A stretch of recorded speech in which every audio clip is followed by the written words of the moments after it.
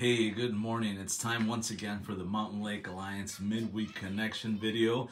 And a lot of really cool things happening uh, today. At 6.30, we start with Jaywalkers Club. What is Jaywalkers Club? This is a kids program for kids ages 5 through 11 where they're going to learn how to walk with Jesus. So it's open for all the community. Even if you're not part of the Alliance Church, bring your kids here today at 6.30. Uh, the team is ready to receive the kids, to uh, minister to them, and to show them the love of Jesus. So we're excited about this program. That's going to be every Wednesday at 6.30, 6.30 to 8.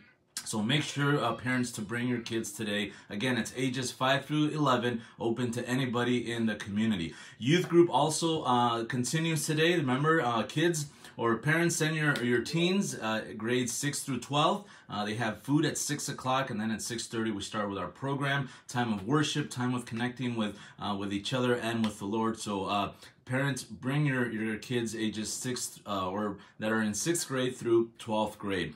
Also, men, I don't... Um, I don't know if you knew, but we have a men's Bible study every Thursday morning at 6 here in the church. So if you want to be a part of that, come to the, the church Thursday at 6 a.m. for a men's Bible study. And hey, we continue with our two service schedule. Uh, service at 9 and 10.30. We do uh, stream our 10.30 service. Remember, there's three ways to watch. You can watch on our website, our YouTube page, or our Facebook page. And uh, that's all in the comments section. You'll have a link to that so that you can watch it if you can't make it. But if you can be here, we'd love to have you uh, join us. Pastor Jay is continuing his series on one another. And uh, this Sunday, he's going to talk about honoring one another. Uh, so make sure you plug in. I'm going to put the songs that we're going to do here in the comments section as well. So you can start getting ready to uh, worship the Lord uh, this coming Sunday. Hey, Today's Bible app verse of the day is James 3.13. And um, I usually do the New Living Translation, but today I'm going to do the Passion Translation. And it says this, If you consider yourself to be wise and one who understands the ways of God, advertise it with a beautiful, fruitful life guided by wisdom's gentleness. Never brag or boast about what you've done, and you'll prove that you're truly wise. I mean, I love this this translation. Really clear, really to the point. If we are wise, let's understand the way that God wants us to live. And not so that we can brag about it, not so that we can boast about how we're living, but just to show God that we love Him, just to, um, you know, prove, like it says here, prove that we are truly wise. I want to encourage you. Ask the Lord, Lord, how do you want me to live today? What do you want me to do? How can I honor you today? Let's seek him in all that we do, and let's look to honor him in all that we do. Again, we can't do it on our own. It's only by the power of, of his Holy Spirit.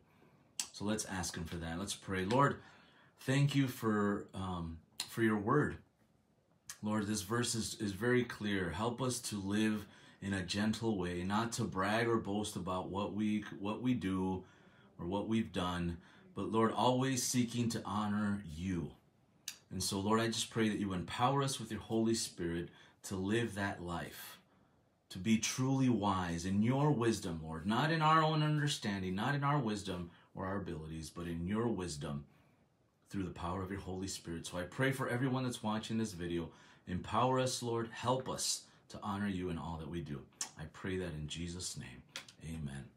Hey, a lot of things uh, going on here at church, exciting things. If you have any questions, feel free to reach out, call the church office, send us a, a message on Facebook. Uh, there's several ways you can get a hold of us. We'd love to see you plug into uh, the things that are happening here at Alliance Church. Have a great rest of your week.